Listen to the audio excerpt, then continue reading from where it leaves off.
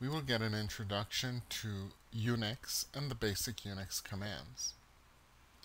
Before we jump right into Unix, let's think about what Unix commands do.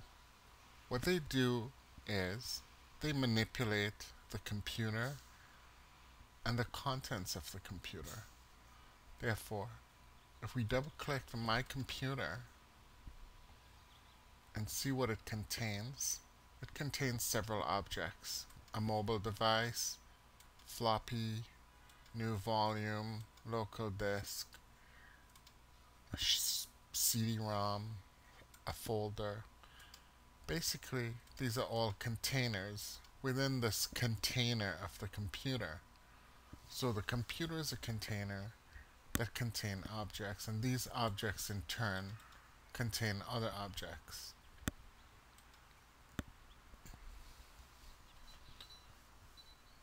In this case, let's look at the action of looking inside my computer, inside the local disk C, inside of the folder data, inside of the folder downloads,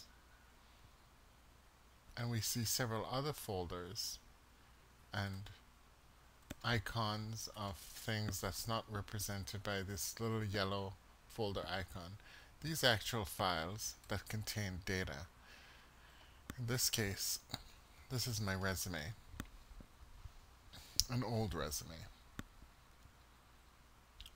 So this is basically what we do with the windowing system in an operating system and Unix commands allow us to do almost all of these things, but without the use of this window and other graphical elements. The manipulation of data or objects is accomplished by using commands. So if I wanted to get to see data downloads that contains this stuff, I could type cd change directory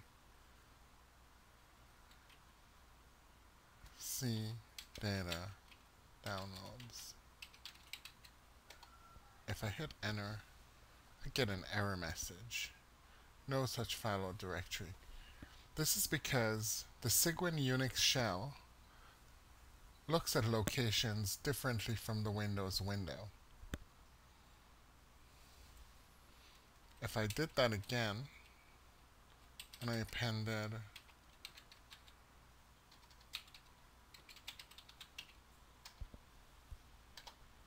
Now, I did not get an error such as this. And if I type pwd to see where I am, it says I'm in cygdrive C data downloads. Notice the similarity. This is C data downloads. This is cygdrive C data downloads.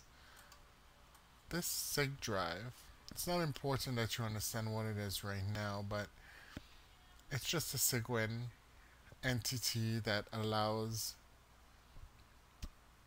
it to differentiate different parts of the file system. For now, just know anytime you would like to go to a path similar to what's in the window, you would append cygdrive in front of it like this. But more importantly, what I'd like you to focus on is the use of this command cd or change directory followed by an actual address and pwd a command to the computer that says print working directory or show me where I am right now. Here's another command ls and it shows several objects of which one is resume.doc which is similar. So we see we've actually arrived at the same location.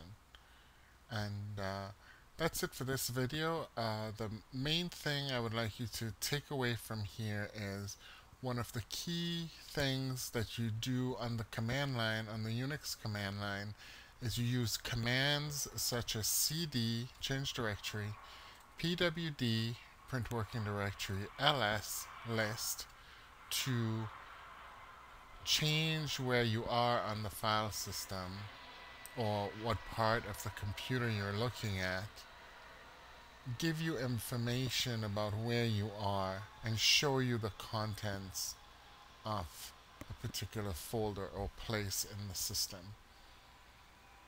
And the equivalent would be clicking buttons, double clicking buttons, and navigating in the Windows world. This should give you an idea of one thing that can be done with the Unix command line.